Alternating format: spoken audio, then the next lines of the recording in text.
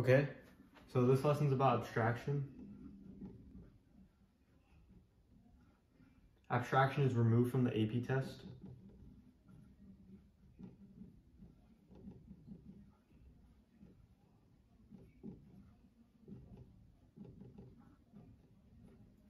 Many teachers will still teach it even though it's removed on the AP test because many people who are taking computer science courses in high school like AP CSA, they will probably plan to go further into that and probably get a degree in college or something like that. So that's why a lot of the teachers, they still like to go ahead and just, they just like to teach abstraction, even though it's removed from the AP test. Since a lot of teachers like to teach AP abstraction in their AP CSA curriculum, I teach abstraction along with that too, but it's just, I feel like it's just good, helpful to know. However, if you're just studying for the AP test, you're not interested in delving into computer science or getting a degree in it in college, then just hop off this video. It's not gonna help you. It's not gonna help you get a five on the AP test. So yeah, that's really it. Okay, so let's go over our core, four core OOP concepts. Inheritance. Check. Inheritance is just when another class, eh, when a class extends another class, or when a class inherits another class. We just use the extends keyword to just show that a child class is inheriting information from a subclass, or a parent class, sorry about that. Okay, so that's unit nine. Unit nine is inheritance. Next is polymorphism. Polymorphism is checked. It's just when an object undergoes many forms multiple classes are related to each other through inheritance. Part of a sub-lesson in Unit 9, Inheritance. Finally, we got abstraction. We're covering abstraction in this video. Abstraction is no longer the AP test, so you don't have to worry about it. And then encapsulation is Unit 5. And that will be coming up next. Encapsulation is just when you sugarcoat a variable or an attribute and then you try to access that. So you're going to make the program print it using getters and setters. It's a little interesting, but it's kind of a little difficult to kind of get the hang of it. But you'll slowly learn about it when you learn about accessors and mutuators. Those are the terms College Board likes to call it, but accessors just mean getters and mutuators just mean setters. So you're going to hear them be used interchangeably. I just like to call them getters and setters, but they call them accessors and mutuators. They just mean the same thing. But encapsulation will be soon and I am not going to cover that in this video. This video is about abstraction. Once again, abstraction is no longer on the AP test. Hop off if you're just here to study. If you're here to learn more about the computer science, if you're here to learn more about Java, stay tuned. Otherwise, if you're just here to study for the AP test, hop off because this won't be on there. You won't be tested on this. Okay, so abstraction.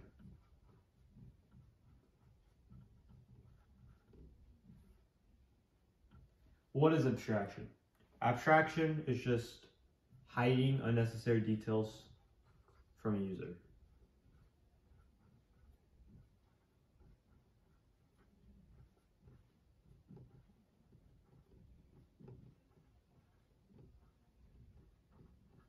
That's it. Abstraction is just hiding unnecessary details from a user.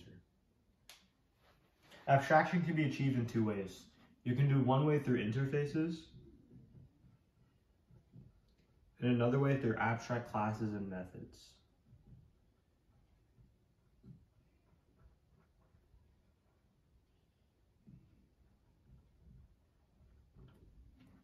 Okay, let's go ahead and define the two. We're going with the first topic, so we're going to do this first, and we're going to cover this second. So, abstract class.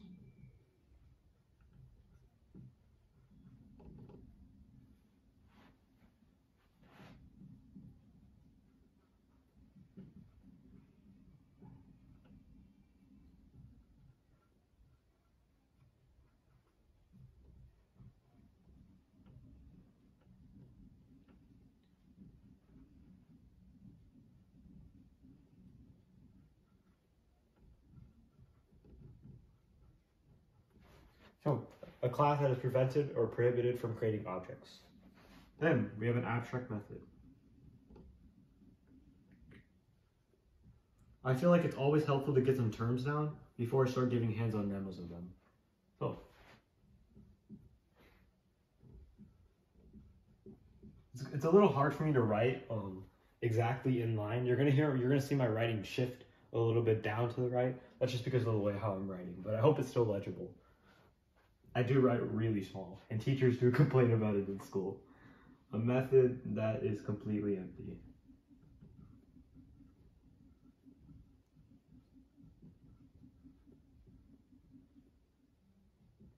But I feel like if you're on AP exam, you're doing your FRQ, you're writing pretty teeny tiny because it's good. If you have like really large handwriting, you're trying to do an FRQ on the AP test, yeah, you're not gonna have room. So it's kind of helpful I write small, but it's also gonna be difficult to read the teeny tiny stuff. Okay, so a method that is completely, it's not completely empty. I'm gonna reword this. A method that has no body.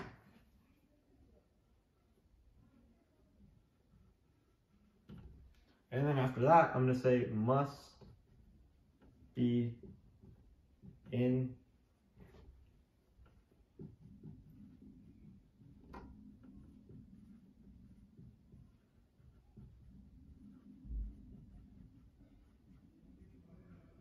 Good.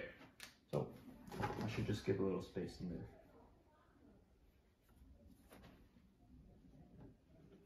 There we go. So two words that we have defined. An abstract class, a class that is completely, that is prevented or prohibited from creating objects. By the way, an abstract class and an abstract method in Java are defined using the abstract modifier. I've talked about the abstract modifier. It's exactly, that's just what it does. It does, it makes a class abstract, it makes a method abstract when you put it in front of it. So defined in Java,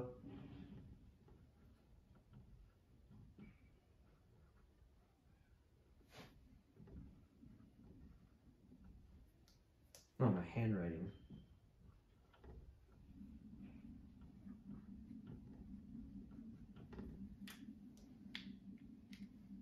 Oh my god, I'm getting so much ink on my hands. Videos after videos of information.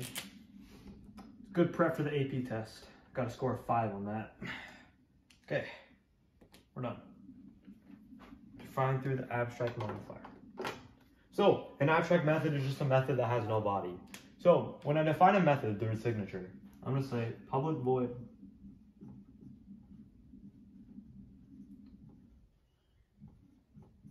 Once you make your method declaration, you usually have curly braces.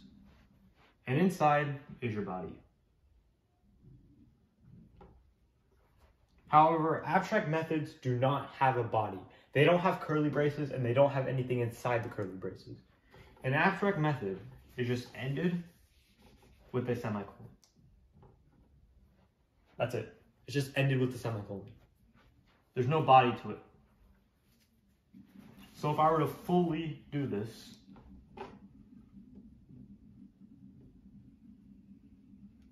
the reason why I'm making it protected, because if you want to access an abstract method, you have to make a subclass or a child class out of your abstract superclass. And that's why I like to make mine protected because protected just means the method is visible in a child class. We went over that in modifiers. If you want to go back and look at my modifiers video, you can. So, and then you can go to my method. There you go. You're going to get an error if you put curly braces in a bot or a body around an abstract method that's defined with the abstract keyword. And that's kind of how you would declare an abstract method. This must be inside an abstract class. So I can't have just a regular a regular class and just make it it has to be inside an abstract class. So that compiles. However, if I just made a class A and put that method inside, that would not compile. Or if I put a body inside this method, that would not compile. You kind of get the gist. It's in the definition itself. So, once again, let's go over our words and definitions. So these two are defined in Java through the modifier abstract. An abstract class is just a class that is pre prevented or prohibited from creating objects. So you can't create an object through an abstract class. An abstract method has no body. It must be inside an abstract class. All right, so now that we've kind of defined the two, let's go ahead and give a little bit of an example hands-on demonstration. By the way, I want to write down one last thing down below. I'm trying to write a little bigger.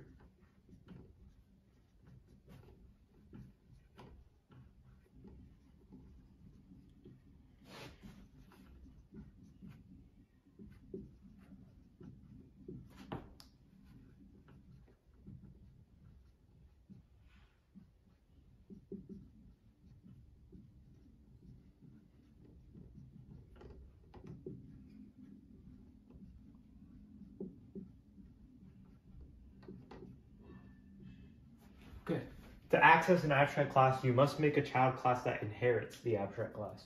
Inherits just means it uses the keyword, it uses the keyword extends. I'm gonna put that in red for you.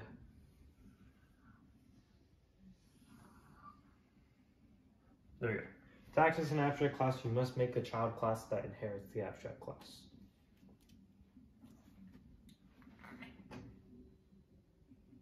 And I'm gonna put this in red as well. It's removed from the AP test. So yeah, just make it a little bit nicer.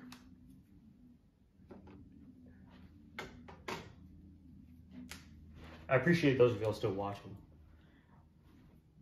Okay, so first step, make an abstract class.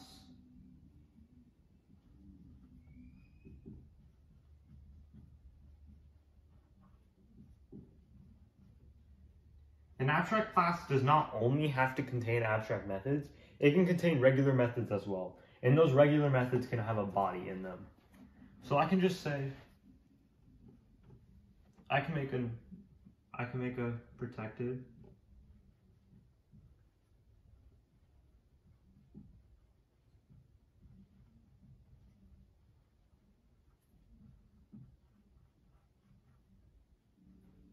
and then I can just have a normal method inside my abstract class. It will still compile because abstract classes can contain abstract methods or they can have regular methods in them. So I can make it public void.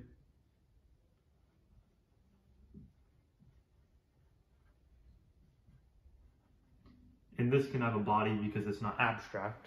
And then I can just print beans.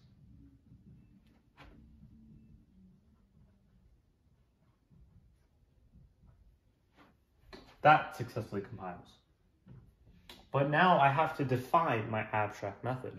And to define it, or to access it, I must make a child class out of it.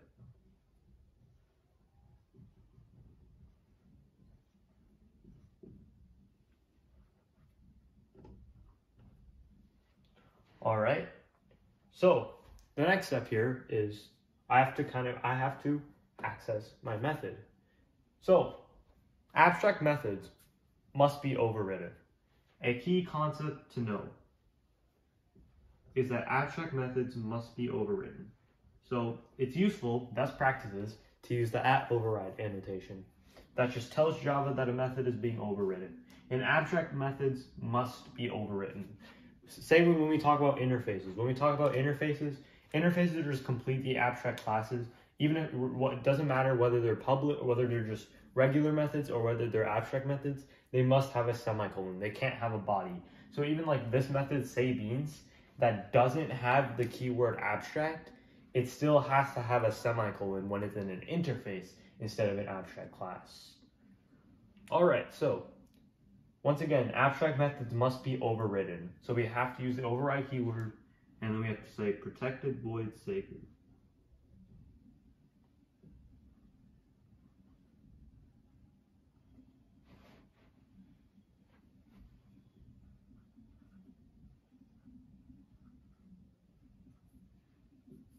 And then here we can finally have a body. And then we can just print green.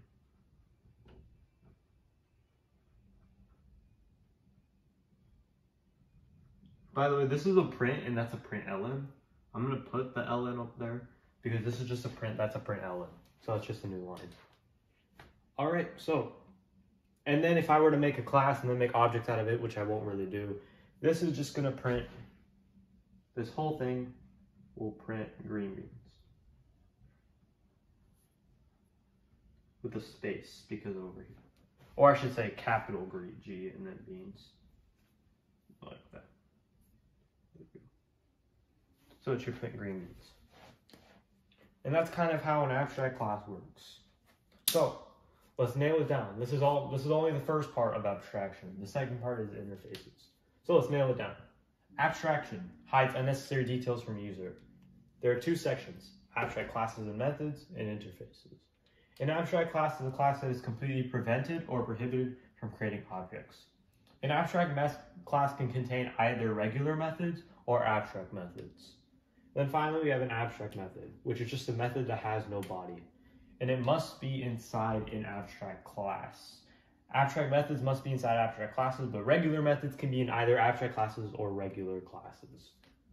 Okay, to access an abstract class, you must make a child class that inherits the abstract class. You can see that we made a child class B that inherits our abstract class A. And then we overrode our abstract method that was defined in our abstract class. So we nail it down, come back here, we revise it. We have our class A, and then we have our protected method, call it say green.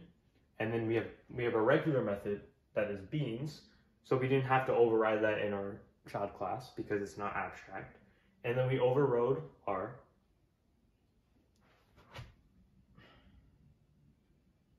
I cannot spell. There we go. And what we did here is we overrode our abstract method in our child class to print green beans. By the way, it, it could you can make it print beans green or green beans. This, this is just assuming I create an object. I call this method first, and then I call that method second. That's just a little bit about how abstract classes work. Okay, gonna do this one in a different color. We're now on to our second part, the second way to achieve abstraction, which I think is honestly the better way. I like to use an interface more often than an abstract class. So yeah, I, I honestly prefer it, but it's really just your choice. And sometimes it might depend. So, yeah. All right, interface.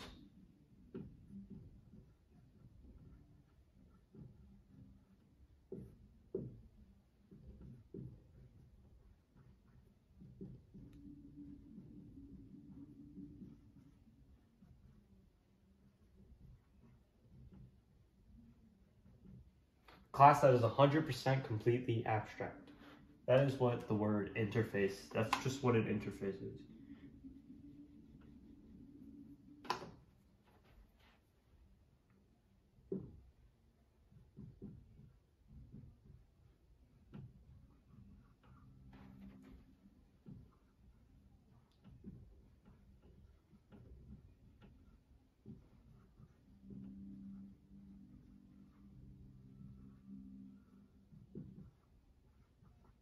Interfaces must contain non-body methods. So even if the method is not abstract, and by the way, interfaces can, can contain regular or abstract methods, but they must all not have a body. You, even though it's not abstract, it still cannot have a body in it because you're going to define that in a subclass, or it's not really a subclass, it's more of a superclass, but it's going to implement the interface. So, yeah. So interfaces must contain non-body methods even if they are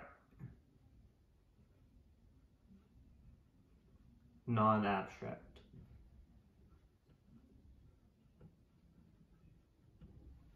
So even if they're non-abstract, they must not have a body. Okay, so does that cover up interfaces? All right. One more idea.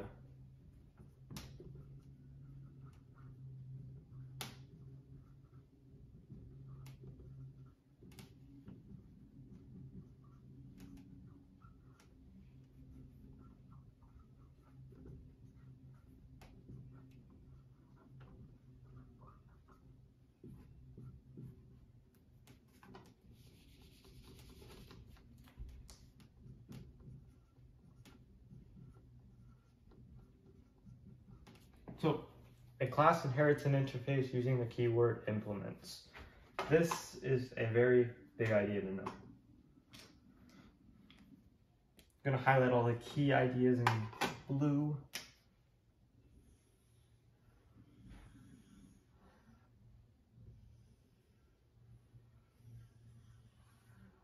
All right, so it's good. A class inherits an interface using the keyword implements. So a class inherited, a, a subclass inherited a superclass using the keyword extends. So now a class inherits an interface using the keyword implements. Kind of does the same task, but it uses a different keyword because it's an interface rather than just a class. Okay, how would I demonstrate this? Well, first, I'll make an interface. I'll call it A. And what I can do is like I can define a couple methods in here. I'm just gonna do one. By the way, the protected keyword is not visible among classes that implement interfaces, so that's why I'm just using public.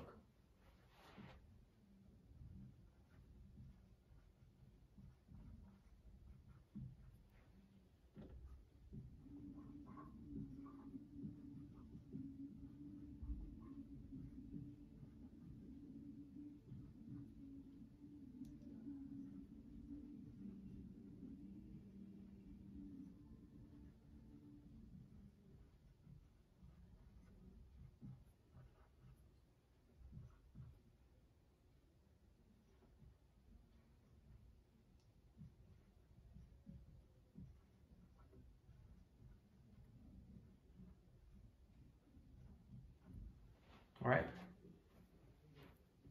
Oh, whoops. I made the same mistake that I told specifically not to do.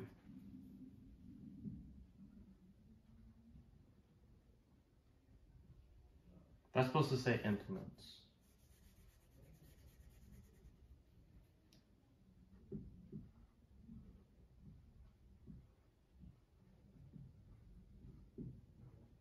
There we go.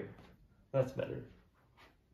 And then we go ahead and make another class, and then we make an object out of it, and then we print it, and that's just going to print my method. But yeah, that's how interfaces work, and they're another way to achieve abstraction. But yeah, that's pretty much it. Those are the two ways you can achieve abstraction. Okay, so we're here on abstraction. Welcome to the coding demonstration on how we did it. We did the hands-on demonstration previously in this video. So let's go ahead and start. So we're given an FRQ and our goal is to actually solve the FRQ and get our code accepted. You're not going to see an FRQ related to abstraction on the AP exam, but you will see it in competitive programming like, like types. You're not going to see it exactly like this, but you're going to see it somewhat similarly, which will involve abstraction, hopefully. So, we're getting an FRQ here. Jessica is assigned to make four abstract methods that add, subtract, multiply, and divide two doubles, rounding each value, what does it say?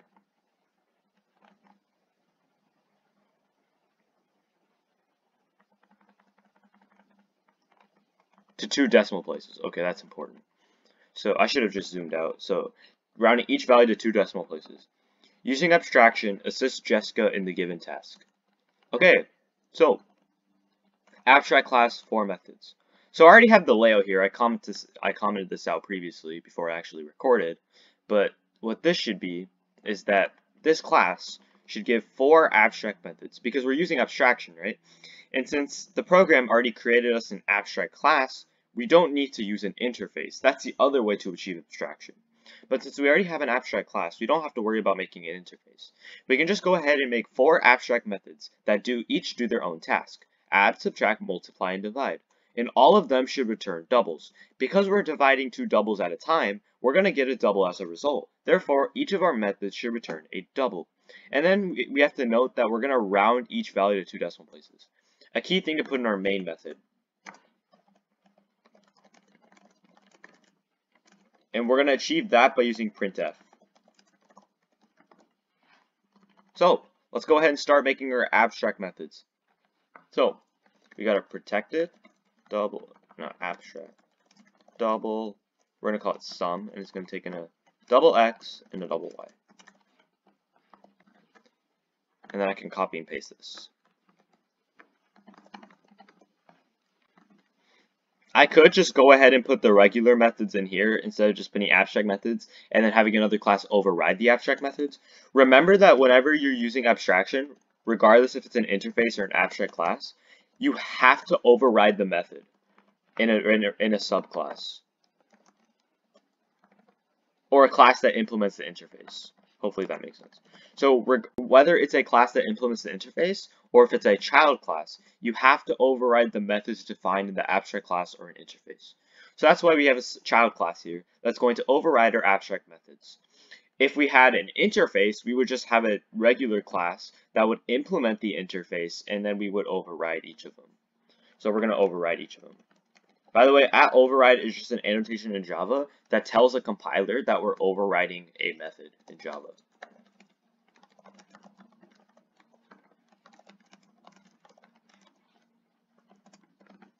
There we go. And then we're just going to copy this.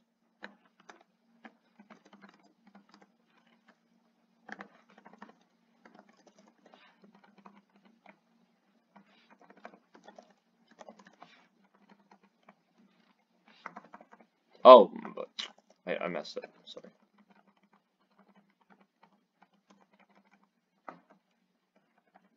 Product.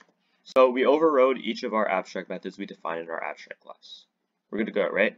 Now we have to actually tell what the method what it's going to do. The sum method is going to add two, right? Add two doubles. The difference method is going to subtract the two doubles. The product method is going to multiply the two doubles and then the quotient is going to divide them. We're good to go? There we go, we're done. By the way, keep, keep in mind this right here. This is our input and our output samples. So usually when you do competitive programming, I, the AP exam FRQ doesn't show this, but like when you do competitive programming like HP Code Wars, you'll definitely see an input and an output for many of the problems. An input just means that if you input these two pieces of information, your output should show should show this. If the output doesn't show this, it's going to give you a it's going to test run it, and if it doesn't show that, then your code won't be accepted because it's the wrong answer. So you got to keep in mind on that. So, we're done with these two classes, right?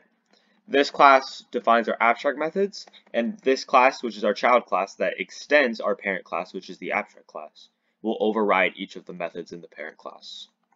Are we done? There we go. We're ready. And now we're on to our main method. We have to decide our x and y aren't going to be constant, right? They're not going to be like, we can't just straight up define x and y, right? They're going to change every time. So we're so the biggest thing that we have to do is we have to let the user decide what we want then, what what they want to put for their numbers. So the user gets to decide an x value and a y value, right? So that's why I made two instance variables. Instance variables are just variables that are defined and belong to a class. These belong to a class, right? Because they're defined inside a class. So straight up, I just defined an x and a y, right? I made them private. So these are going to store what the user wants for their number. So if the user decides to put like a math.pi 3.14155265535, right? that will store as an x. And then their second number, whatever they define that, it's going to store as a y. So that's why I made two variables, an x and a y. And you're going to get a warning because you don't really use x and y. The squiggly yellow line just means the compiler is giving you a warning. All right. So because we're using the scanner, we have to make sure we're importing the java.util. So we have check, we are importing java.util. So we're good to go. You'll get an error because you're going to say that the scanner is not defined, and that's just because you haven't imported the java.util package. Scanner is just a class in the java.util package, by the way. So we made a scanner called scan, and we made it read through the terminal. System.in just means it's going to read through the terminal, by the way. So I, had I heard a lot of people ask me that. System.in just means it's going to read through the terminal. Okay? Then we're going to print a message to the terminal, right? Choose, I'm going to say type a number. After we type a number, we're going to make, oh yeah, we have to create objects, by the way, because these aren't static, and these aren't static either. So we have to create two objects. We're definitely going to need an object for our current class, and we're definitely going to need an object for our, wait, what's the class name again? Using the for methods. Okay.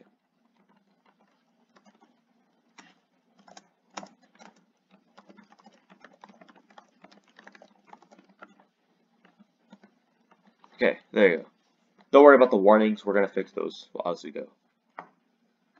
Okay? After that, um, we can do the try block now.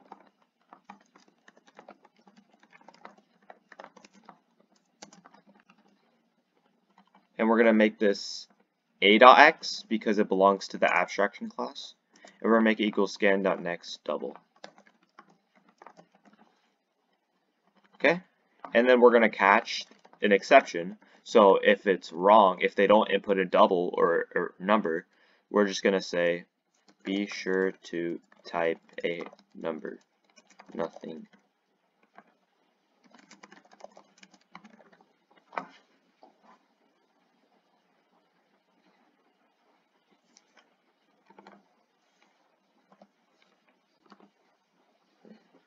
Okay?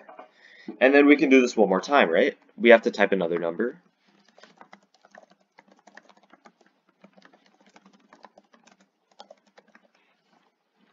Oh, I thought this was commented for a second. I don't know why the color coding's off on it. Oh, there it is. Just because of that. The color coding was a little off. Okay? And then we can just copy this. And this is going to store our y value. So our second number the user wants. It's going to store. Here we go.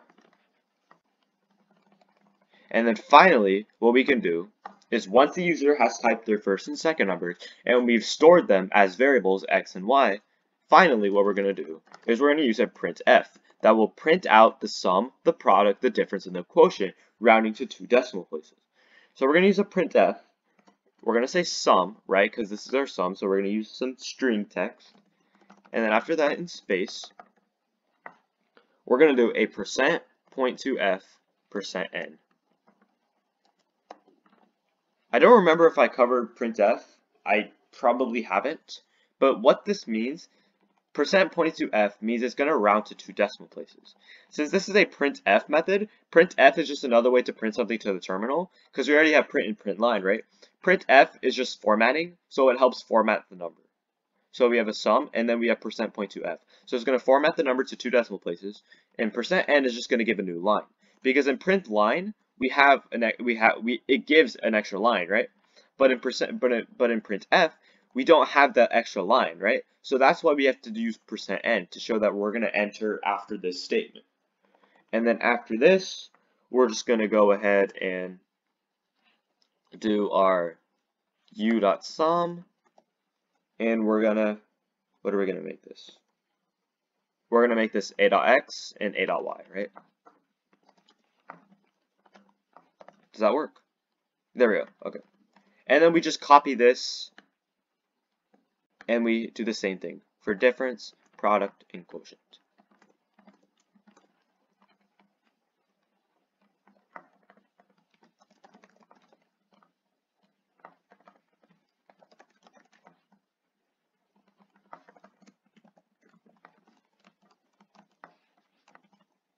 Do you, I hope it makes sense why we are using u.difference because this method belongs to our using the four methods class, right? That's why we had to make a new object out of this in order to be able to access the method in this class.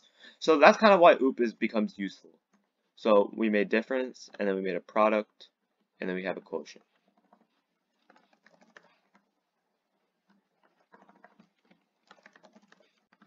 We good to go? Zoom out on this code. How much should I zoom out? There we go. That's good enough. This is this is usually the size I code in. So I, I just don't really I just zoomed it in for y'all to see better. But I think that should be good enough. Yeah, definitely that. Let's go ahead and run it now. Okay, so the terminal greets us with a type of number, right? We're going to type a number. We're going to see what the input data gives us. The input data gives us an x value of 3.2 and a y value of 4.1. And there we go. Our output value does in fact match. Therefore, our code is going to be accepted. However, there is going to be a second test case. And this is our second test case. And this is going to show, is our code fully ready to be submitted? So let's do 10, 5, 15, 5, 50, and 2. And yes, they do match. So at this point, we know that both of our test cases match, and therefore our code will be submitted if this was a competitive programming question. Since these two match, our code is going to be submitted, and we're done with this problem. And that's it. That's the end of this video. If you had any questions whatsoever in this video, be sure to please leave it in the comments below. I'm super happy to answer questions. I understand that some of it can be confusing, and I'm glad to clear up any doubts that there are present. Keep in mind that for those of you studying for the AP test, you don't have to worry about abstraction. You're not going to get an FRQ about it or an MCQ either. So you don't have to really worry about that. But if you're just interested in more coding, you want to study more abstraction, if you had any doubts, please let me know in the comments below. I'll be able to be as prompt as I can to answer the questions. And with that being said, I'll see you guys next time.